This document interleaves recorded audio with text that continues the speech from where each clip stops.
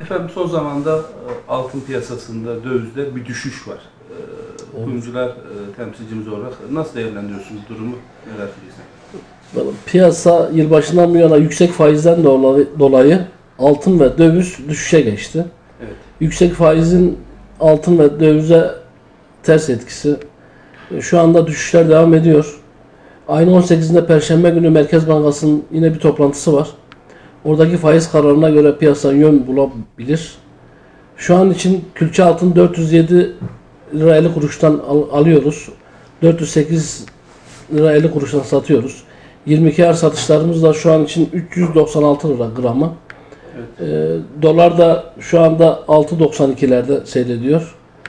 Ee, şu an için piyasalar Euro, Euro? Euro'da 8.41 ile 8.41'den işlem görüyor.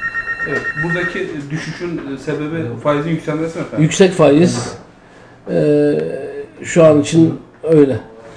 Bu şekilde devam ederse düşüşler ekonomimiz nasıl etkilenir? Aslında şu anda bu yüksek faiz piyasayı durgunluğa itiyor. Evet. Ee, piyasa yavaş yavaş durgunlaşmaya başladı. Yani böyle devam ederse e, daha önümüzdeki günlerde piyasa daha da daralabilir. Evet.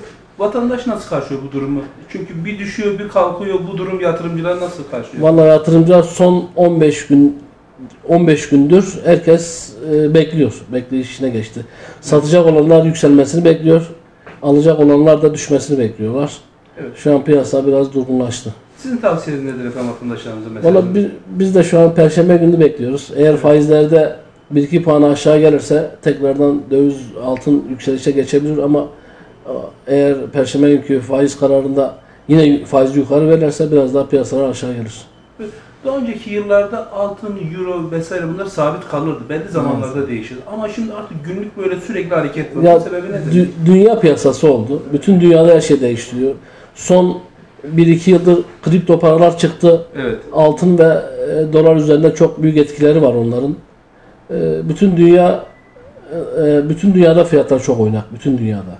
Peki efendim. Çok teşekkür ederim. Sağ olun. Sağ olun.